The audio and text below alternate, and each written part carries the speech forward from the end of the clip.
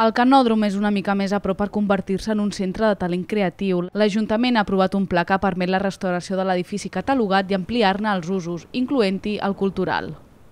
De la mà continuem de l'Institut de Cultura de la ciutat de Barcelona, doncs tindrem un espai amb el qual es podrà desenvolupar una activitat encaminada al que seria eh, la, la promoció, el que seria la innovació, el que seria l'emprenedoria des d'una vessant eh, cultural. De fet, aspira a convertir-se en un espai de trobada per a les indústries creatives i plataforma de projecció internacional.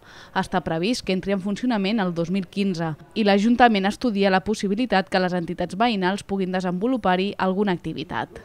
S'està estudiant doncs, la, la possibilitat que, per exemple, les grades o algun altre espai tingui alguna obertura que es pugui compaginar.